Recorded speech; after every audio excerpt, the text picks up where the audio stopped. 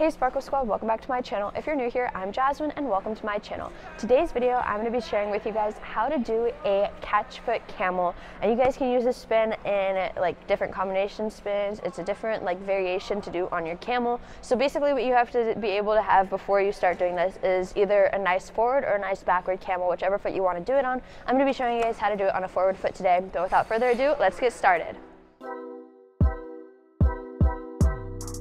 So the first thing that you want to make sure that you have before you do a catch foot camel is you want to have a nice and solid camel spin that you guys feel comfortable with moving around because you're going to be have, like you're going to have to be able to go here and then you have to grab your foot behind you. So we're just going to start off with a nice solid forward camel. So I'm going to show you guys what mine looks like.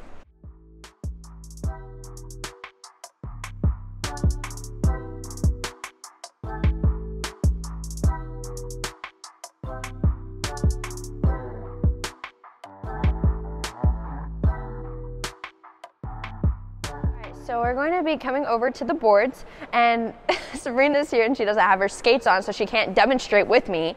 Rude. But what we're gonna do is we're gonna come over to the boards. I'm gonna have both hands and I'm gonna be facing to the boards and I'm going to get into my camel position. So you wanna make sure that your foot or your leg is hip level. You don't want it too high or too low because you, like usually when people are doing a camel, their foot is at hip level. So just like this. So then what we're gonna do is we're gonna grab and we're gonna take it and we're gonna bend our knee all the way and we're gonna try and bring this foot all the way to our opposite shoulder like this in this position.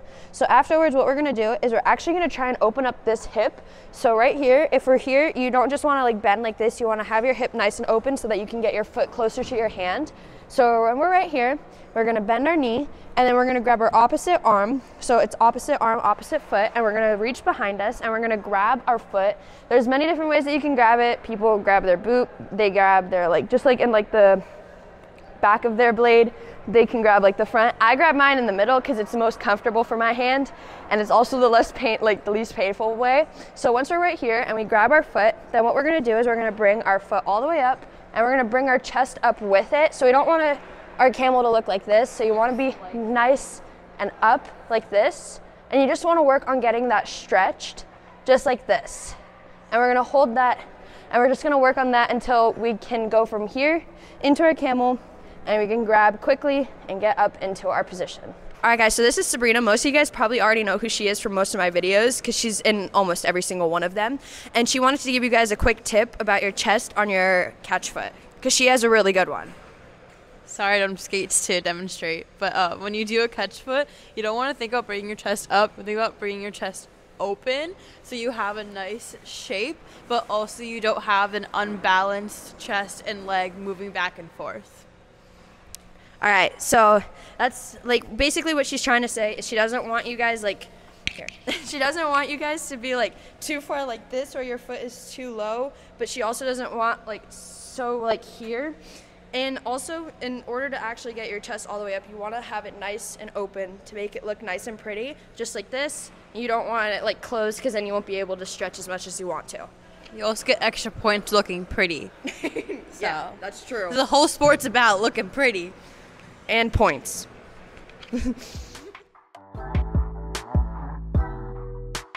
So now what we're gonna do is we're going to try and do the same thing that we did on the wall, but off of the wall. So what we're gonna do is we're gonna go into a nice forward or backward camel, whatever you wanna do.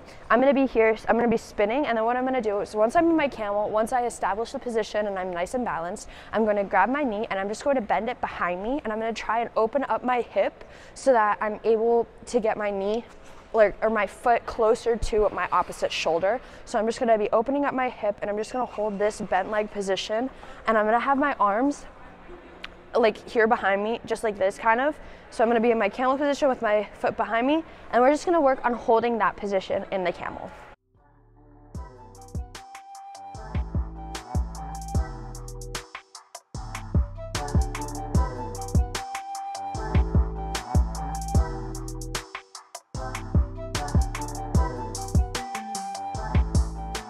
Now what we're gonna do is we're going to reach with our opposite arm and we're gonna try and grab our foot and we're gonna hold this spinning position right here. So we're just gonna get into that camel position. We're gonna bend our knee and bring it to our opposite shoulder while we're opening up our hip and then we're gonna reach for our foot and we're gonna try and grab it. And we're just gonna hold this position and we're not gonna pull it up or anything. We're just gonna see if we can balance in that position while we're holding our foot. So I'm gonna show you guys what that looks like.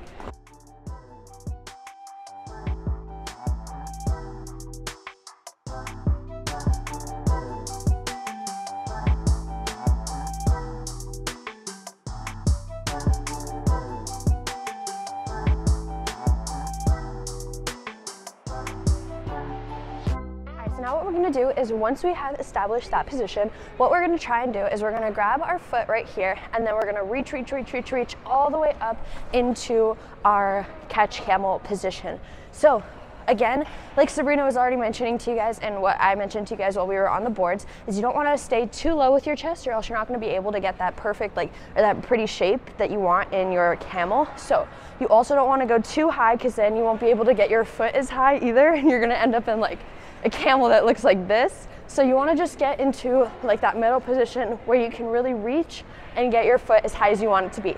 So it takes a lot of practice and obviously you won't be able to do it perfectly, but it also takes a lot of stretching. So you can stretch on the boards, stretch off ice before you get on the ice. Just work on getting that position and work on really working on opening up your chest. It also takes shoulder flexibility and hip flexibility to be able to hold it there. So I just recommend stretching a lot so that you can get into that position that you want. So I'm gonna show you guys what it looks like.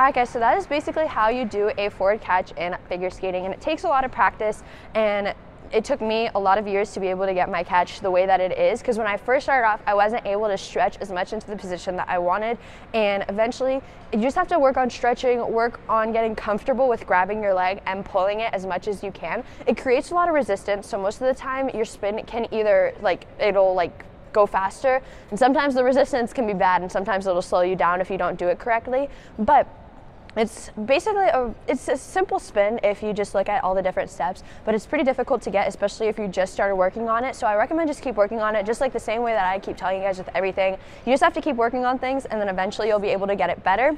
Um, but I hope that this video helped you guys get your catch camel, or if you already had one and you wanted to get, make it a little bit better, I hope this guys, I hope this video gave you guys some tips and tricks on how to make your forward catch a little bit better. If you guys have any requests for tutorials that you want me to do on my channel, leave those down below in the comments, and I would be happy happy to do those for you guys. But I hope that you guys enjoyed and I will see you guys in my next video. Love you guys. Bye.